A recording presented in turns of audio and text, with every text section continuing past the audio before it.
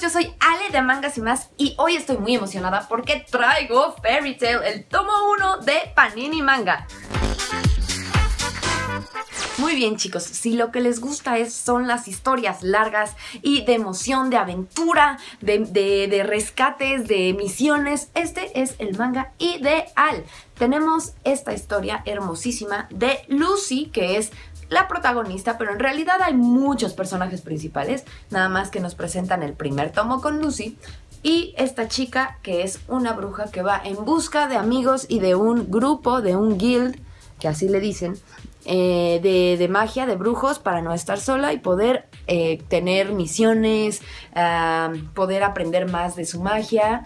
Y pues vamos a ver qué nos dice este tomo número uno de Fairy Tail.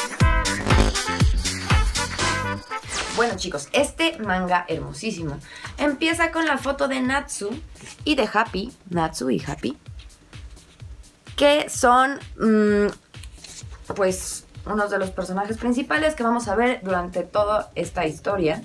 Y comienza mostrándonos un poco del humor que va a tener este manga, que es Natsu ahí un poco mareado junto con Happy.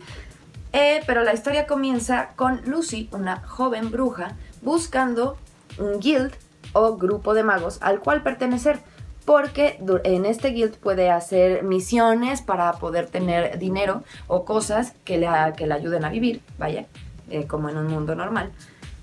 Eh, y bueno, es, es, una historia que tiene varias, ah, pues digamos que tiene un poco de fanservice también. Lucy es una chica muy hermosa. El diseño del personaje está muy bien hecho porque no es una loli per se, no podríamos decir que es una loli, pero sí tiene un toque de ternura, pero también es muy sexy.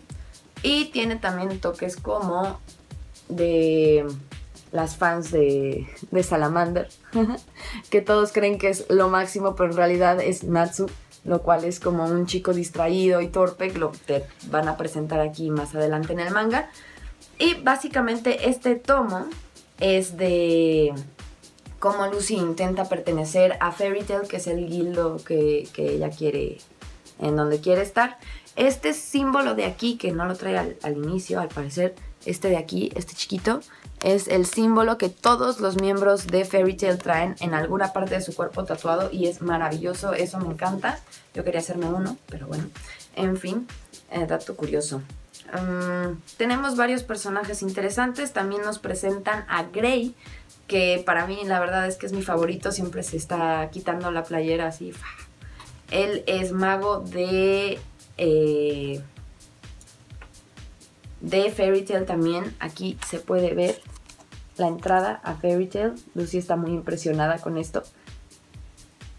Y pues léanlo, está muy bonito, es la introducción a los personajes principales, no quiero decir quiénes más salen porque quienes conocen el manga o el anime van a ver que de verdad te la pasas bien leyendo esto, está muy bueno, muy bueno, tiene cosas de humor muy chistosas, por ejemplo esta, se me hace una de las escenas más maravillosas, me hizo reír mucho.